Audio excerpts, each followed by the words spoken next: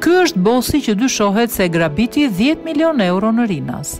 Supergrabitja e 990.000 eurove e kryer në 30 qershor 2016 brenda pistës së aeroportit Nënë Tereza ka një person të pandehur dhe ai quhet Aleks Pepa. Elbasanlliu i shpallur në kërkim ndërkombëtar nga Interpol, cilësohet nga prokurorët e krimeve të rënda si truri i kësaj grabitjeje, të ndodhur përpara syve të shumë personave, të cilët ishin në pritje për të udhëtuar me avion drejt Italisë. Sipas mediave, ka dyshime se i njëjti grup ka grabitur me të njëjtën skemë dhjetë milionë eurot sot në Rinas. Gati nëntë muaj pas ngjarjes, policia dhe prokuroria në shkurt të dy mijë e shtatëmbëdhjetë-s realizuan një kontroll të imtësishëm në banesën e prindërve të Aleks Pepa, ku gjetën pesëdhjetë mijë euro brenda në frigorifer. sasia e cila është sekuestruar në cilësinë e provës materiale. Ndërkohë mësohet se për këtë grabitje, autorët kanë përdorur katër makina të vjedhura mes tyre dhe një furgon. Pepa dhe dy bashkëpunëtorët e tij janë identifikuar nga analizat e ADN-së dhe qeliza telefonike dhe qeliza telefonike, të cilat kanë vërtetuar se në 30 qershor 2016 autorët janë lokalizuar nga antena telefonike në zonën e Rinasit.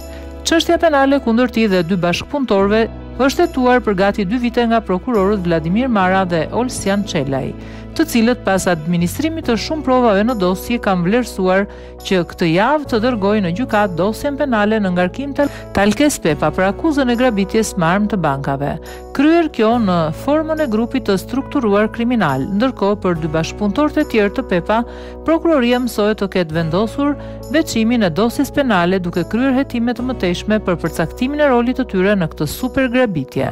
Por kush është Pepa, emigranti që u kthye nga Greqia? Aleks Pepa është një person që ka punuar si emigrant në Greqi, por në 2015 është kthyer në Shqipëri. Dyshohet nga prokuroria të jetë personi kryesor i grabitjes së gati 1 milion eurove në aeroportin e Rinasit.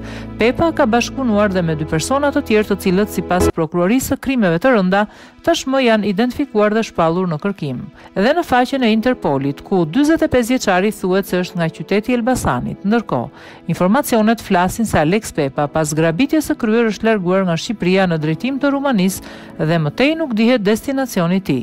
Për të hedhur dritë mbi itinerarin e tij, Prokuroria e Krimeve të Rënda mësohet se pak kohë më parë, i është drejtuar me një letërporosi autoriteteve rumune, duke i kërkuar këtyre të fundit për të verifikuar vendndodhjen e Aleks Pepës ose drejtimin e udhëtimit të tij nga Rumania e tutje.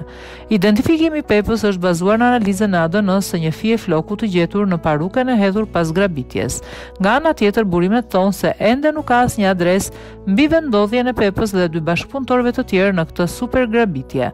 Por pavarësisht kësaj, gjykata që prej dy mijë e gjashtëmbëdhjetë-s ka caktuar masën e sigurisë arrest me burg në mungesë, pasi provohet implikimi i Aleks Pepa në grabitje me dy persona të tjerë.